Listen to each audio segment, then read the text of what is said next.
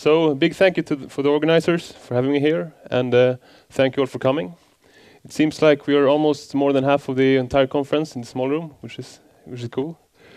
So um, yeah, I want to start with a question: How many of you have some working exper experience with uh, computer vision or image analysis? Oh, that's quite a lot. Great. So uh, yeah, as, as they said, I'm also from the university, so this presentation will be a little bit more like a lecture and less than a talk. So what I'm trying to do is I will pitch 3D scene understanding as an interesting problem. I will talk about what it is, uh, why it's important, why it's hard, and how deep learning might help us to solve this in a convincing way. So 3D scene understanding, what is this? In my personal perspective, 3D scene understanding is kind of the most important problem of computer vision, kind of the holy grail. This is basically to have to give machines the ability that humans and animals have to go into an environment, look around, and then get some understanding on, on what's happening around them. Um, in a more formal way, uh, I, I, like to see this as building a map of the environment. And what do I mean with a map? So a map is basically, in, in a computer science way, a list of objects in the world. And these objects can have semantic properties, they can have geometric properties. Um, semantic property is kind of what, what object it is, and geometri geometry is where it is, the shape, size, and orientation, and so on. So in order to build robotics that can act in the real world, or like self-driving cars, which, which will drive you around, it's very important to build maps with both semantics and geometry. Imagine, for example, that I put you in a room. You only have a map, and you, uh, you're blindfolded and have a map. You're, you're about to navigate and solve a task. So I ask you to pick up a remote control under the coffee table. You need to know uh, both what is the coffee table, where it is in the room, uh, kind of a, to very high pre precision here. Um, so sometimes in Vision we create maps which contain only semantics and no geometry. Well, in this case, some geometry, but I would rather sit in a self-driving car which can localize other cars in the real world than just localizing them in an image. Some other kind of maps are, uh, they contain geometry, but they don't contain a lot of semantics. So th this is, a, is an example of a point cloud. You can construct this with structure of motion in Vision. Um, so what this tells the computer, this map, is that here's, here's something, here's something, here's something, here's something not very useful to interact with the world. So we really need maps with semantics and 3D geometry. This is 3D scene understanding. So for a long time, computer vision researchers thought that semantics was the real hard part. Like the images are really complex, very high dimensional. One one object can look uh, it can look very differently from many viewpoints. very non-linear problem to solve. But then deep learning re revolution came, and then we now we have things like this off-the-shelf uh, packaged mask RCNN. You can throw it at some at some data, and it will give you this. So for the rest of this talk, I will instead focus more on geometry and uh, how can we solve the geometry part in a better way. So let's start with some basics. To get the geometry of a scene, we need to localize landmarks or objects correctly in the 3D world. For, for this, we need sensors. And these sensors have to measure distance and angle. Some sensors can measure both distance and angle. Are we done? No? Maybe we want to use some other kind of sensors in some case. If we can only measure distance, uh, then we will only know the location of the landmark up to some circle in the in the world. So what do we do then? Add some more sensors. We get many multiple circles, and then we can just look at the intersection of these to find the, the object a process called trilateration. Well, in vision, we're interested in cameras. And what can a camera measure? They cannot measure distance, but they can measure angles. So if you know for each camera the focal length, uh, lens shape, pixel density, and other parameters, you can get the mapping which map maps every pixel to ray through 3D space. And this ray will describe the direction from which the light ray came. So we know that the landmark is somewhere along this line. So what do we do? Add some more sensors. Then we get two lines, and where they cross, there's a landmark. This process called triangulation is the principle behind structure for motion, structured light sensors such as the Xbox, Xbox Kinect here, and uh, stereo camera such as our, our own system. Uh, right. The big problem with this approach is that we need to, to localize the same object in multiple images at the same place. And this was long uh, kind of a hard problem. It was not only until the 90s when algorithms such as SIFT came, which could uh, robustly detect the same feature in multiple images and then describe them with similar vectors so that we can match them and get these kind of correspondences illustrated by the lines here. Using this, we have the same object in multiple views, and then we can just do this triangulation.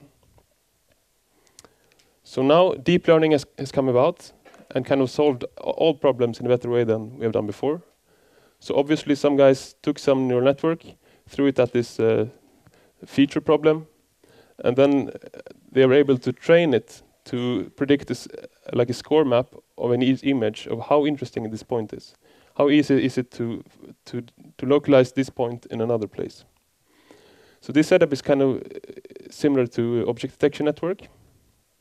Works works better than SIFT. Are we done here? Uh, skip this. Uh, go to the next.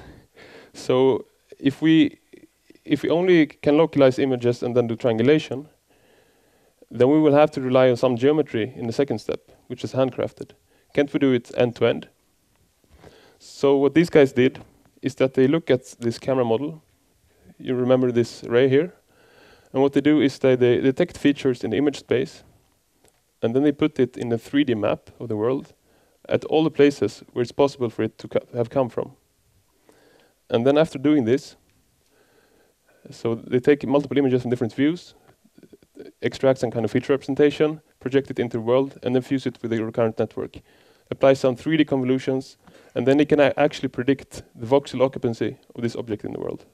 This is an end-to-end -end approach using only deep learning to extract the geometry of a scene from multiple views. So now, are we done here? No. What if you have only one camera and you want to reconstruct the scene? So in this case, it might seem impossible, but there's one way to handle this. And this is using knowledge about the world. So if we know that multiple landmarks in the image come from the same object, and we know the relations between them, that is the distances, then the equations work out so that we can actually solve the complete pose. But how do you program this knowledge about objects into your algorithms? That is very hard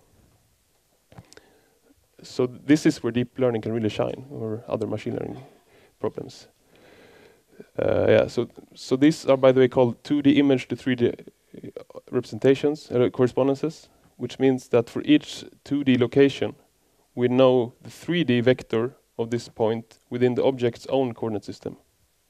This is called 2D to 3D correspondences, and is the basis for many algorithms.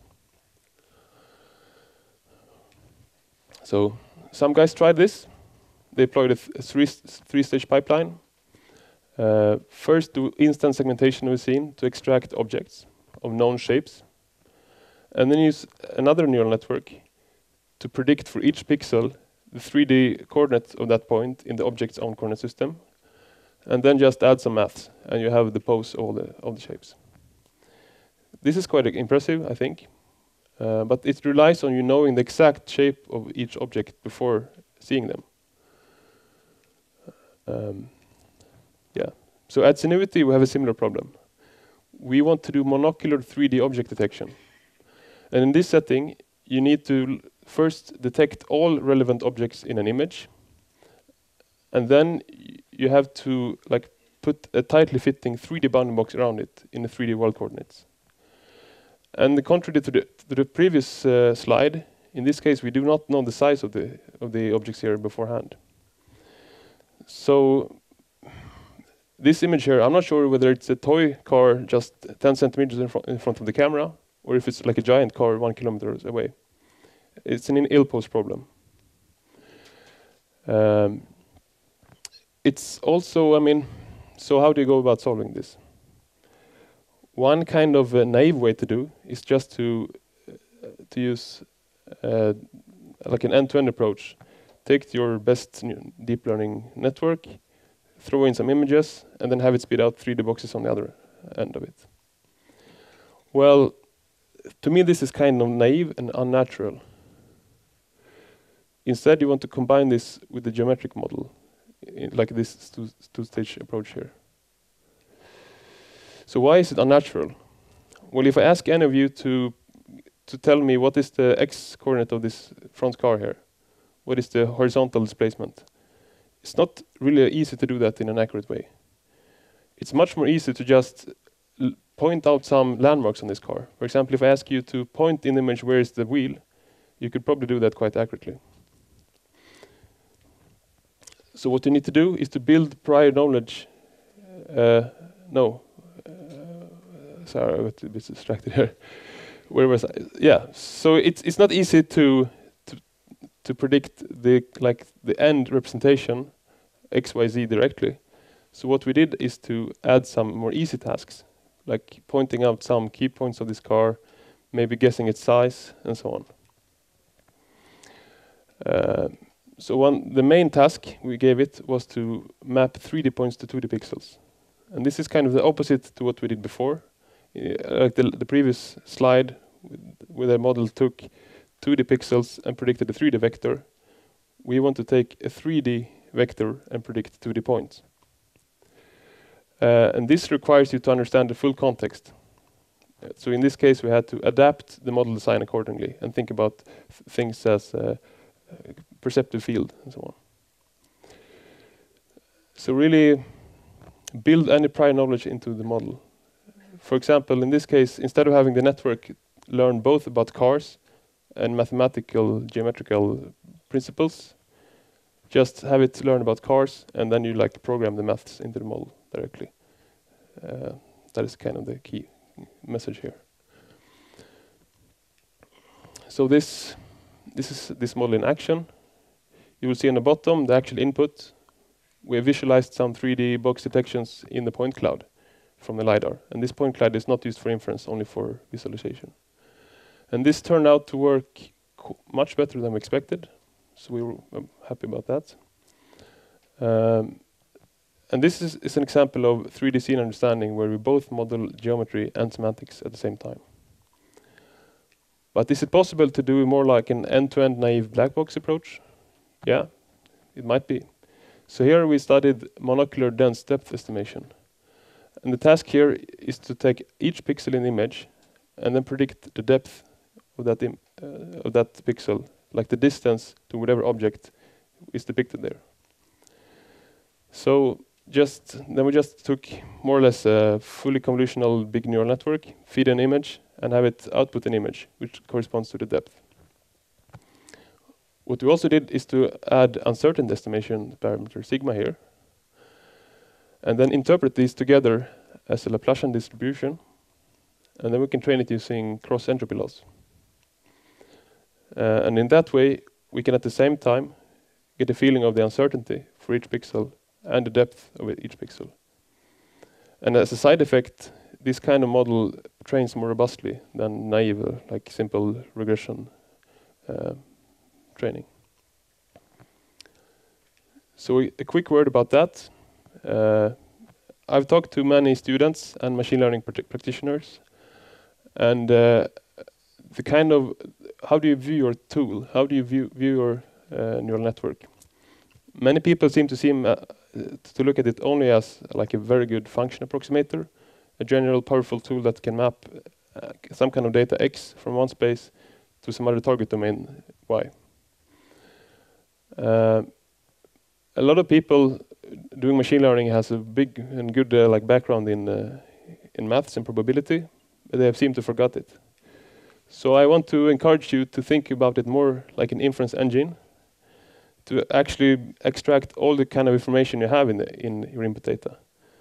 So given a sample, you should be able to predict posterior distribution of y instead of just doing regression, like we did in this monodepth video. So um, a summary of what I talked about today is that 3D scene understanding requires semantics and geometry. For semantics, you could probably just use machine learning straight off.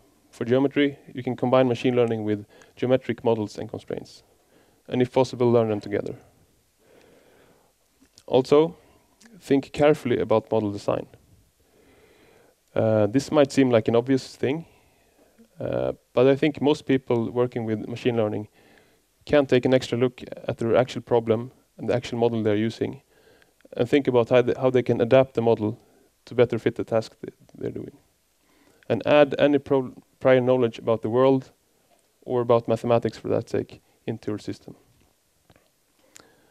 And uh, finally, predict distributions if possible, not point estimates. Uh, that's it. Thank you.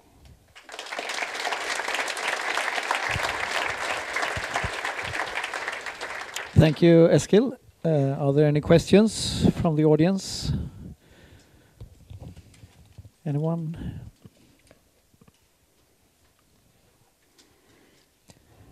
We're all looking for some coffee, maybe.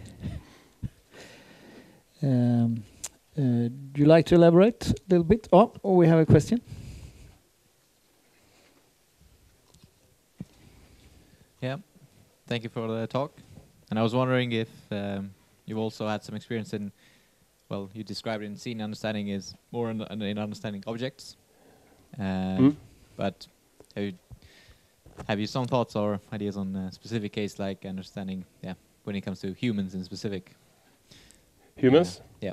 When it comes to humans, uh, you have to find a model of a human.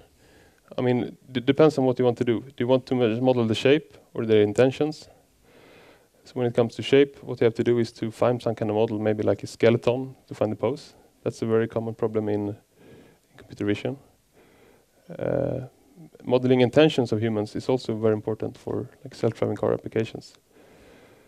Uh, and that is an entire area. But. Right, thank you.